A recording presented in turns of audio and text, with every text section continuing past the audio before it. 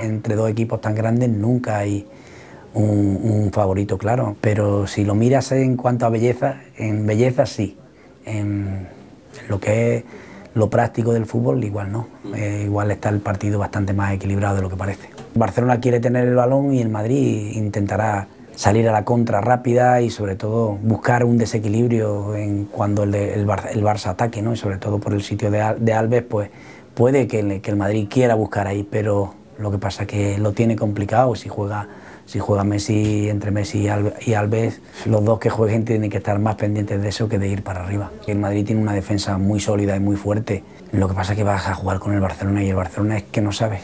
Como te descuides un poquito, te envuelve, te envuelve, te envuelve. Lo nuestro es distinto.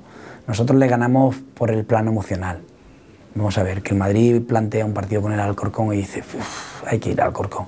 A Barcelona no. A Barcelona van diciendo, a Barcelona, vamos allí, eh, somos líderes. Y el factor emocional lo tiene igual o, más arriba que el Barcelona. Eh, nosotros le ganamos porque el fútbol es como es y porque jugamos muy bien.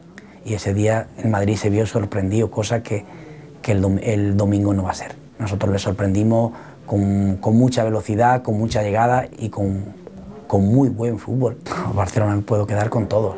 Eh, me quedo con, la paciencia y con, el, y con la calidad que tienen en eso tan simple. Y, bueno, tan simple que lo hacen ellos, que parece que es fácil, ¿no? que jugar de carita, pum, pum, pum, y no, tener nunca prisa. Hombre, si estuviera bien, eh, y aunque no esté bien, Cristiano es siempre Cristiano, por lo que he podido ver en Inglaterra, porque aquí en España todavía todavía el hombre no se ha visto y Kaká es impresionante y sobre todo la defensa del Madrid y el portero del Madrid que cuando tiene problemas lo solventa siempre de manera más, más que eficiente. ¿no? En un partido así no, no puede haber, haber pronósticos, pero si el fútbol fuera 2 eh, y 2 son 4, pues seguramente debería de ganar el que ahora mismo, entre comillas, juega mejor. ¿no?